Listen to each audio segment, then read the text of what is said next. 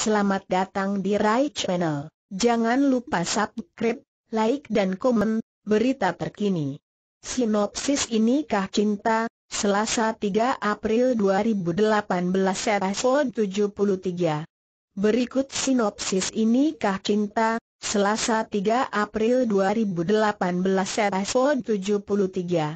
Renuka memaksa Kalindi untuk berkonsultasi dengan seorang astrolog tentang Asta.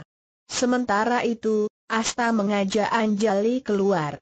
Namun, Anjali khawatir Niranjan akan marah mengetahui hal ini. Tetapi Asta berhasil menenangkannya. Kemudian, Anjali merasa senang ketika Asta membawanya bertemu seseorang. Anjali menolak telepon Niranjan. Niranjan marah mengetahui Anjali pergi bersama Asta. Kemudian, atas perintah Asta, Anjali mengatakan kepada Niranjan bahwa dia pergi untuk berdoa demi kesejahteraannya.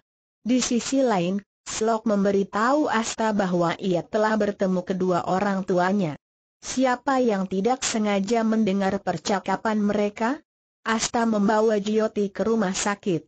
Saat itu juga, Sidar tiba di rumah sakit bersama Renuka. Sidar pun berjalan ke arah Jyoti, ketika Asta tengah berbincang dengan Renuka. Sementara itu, Jaya dan Sojal menduga bahwa Farad berselingkuh. Siapa yang memutuskan untuk menghasut Slok melawan Asta? Slok dan Asta memiliki kepribadian yang sangat jauh berbeda. Asta adalah pribadi yang ceria dan sangat menikmati hidupnya. Sedangkan Slok memiliki kepribadian yang kuat. Dia juga tidak membiarkan sembarang orang masuk ke dalam kehidupannya. Slok berpendapat bahwa wanita tidaklah sebanding dengan pria. Namun ketika bertemu Asta, Slok mulai berubah dari sosok lelaki yang ganas menjadi penyayang dan lembut. Berbagai kejadian menarik pun mewarnai kisah mereka.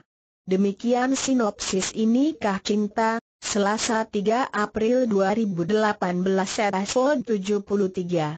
Terima kasih,